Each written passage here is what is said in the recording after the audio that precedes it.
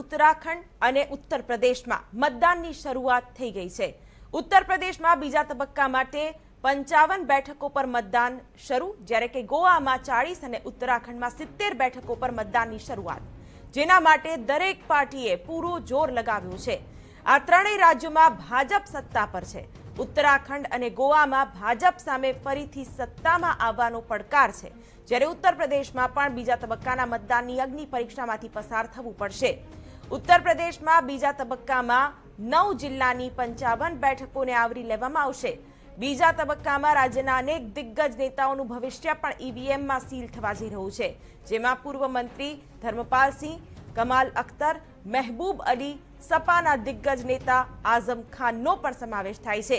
બીજી તરફ, ગોવામાં ભાજપ એકલા હાથે ચાળીસ સીટો પર ચૂંટણી લડી રહી છે. ગોવાની જનતા કોંગ્રેસના સાડત્રીસ ઉમેદવારોનું ભાવિ પણ નક્કી કરશે. કોંગ્રેસે ગોવા ફોરવર્ડ પાર્ટી સાથે જોડાણ કર્યું છે. ઉત્તરાખંડ વિધાનસભાની ચૂંટણીમાં ભાજપ અને કોંગ્રેસ વચ્ચે કાંટાની ટક્કર છે.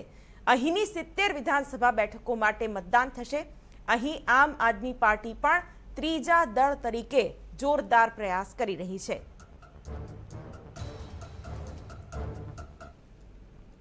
તો આજે ત્રણ રાજ્યોમાં મતદાન, જેમાં ઉત્તર પ્રદેશમાં ખાસ તો જે બીજા તબક્કાની ચૂંટણી છે, તેમાં પાંચસો છ્યાસી ઉમેદવારો મેદાનમાં છે.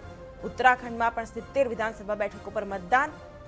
તો ઉત્તર પ્રદેશમાં ખાસ તો કાંટાની ટક્કર, કારણ કે ઉત્તર પ્રદેશમાં જે રીતના મુદ્દાઓ ગરમાયા છે અને હજી પણ અન્ય તબક્કાઓ માટે પ્રચાર, પ્રસાર પણ પૂરજોશમાં છે, તેવામાં આજે કઈ રીતે યુપી ચૂંટણીમાં મતદાનની જે ટકાવારી છે તે નોંધાય છે, કોની તરફ જોક રહે છે તે પણ જોવું રહ્યું.